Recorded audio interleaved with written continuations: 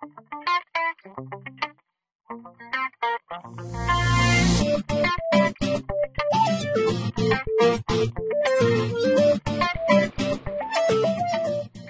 have opened my test Gmail account.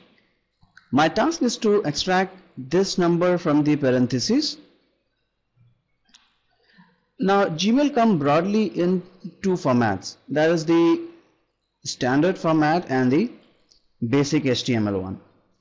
By default Gmail gets open in the standard format.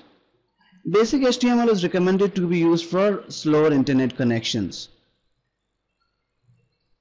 For this exercise, let us first capture the number from basic HTML view. In the second video, we will use the standard view to extract the number. So when I recorded the link object, this is how the object hierarchy looked like.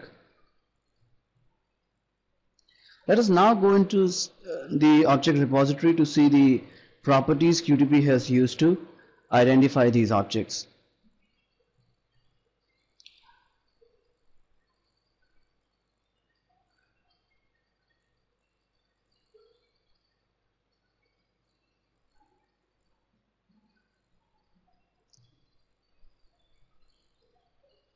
So QTP has used inbox2 as a text property to identify the link object.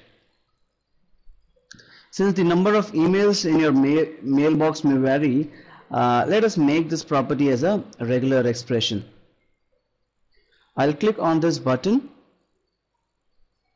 replace parentheses and 2 with uh, dot star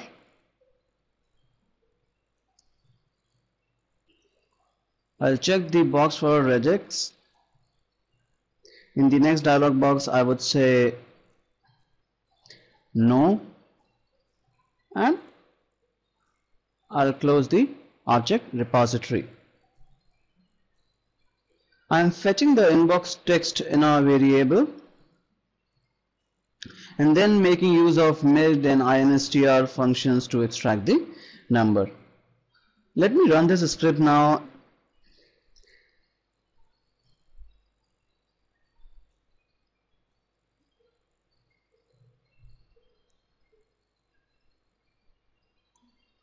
So as we can see we are successfully able to get the number of unread emails.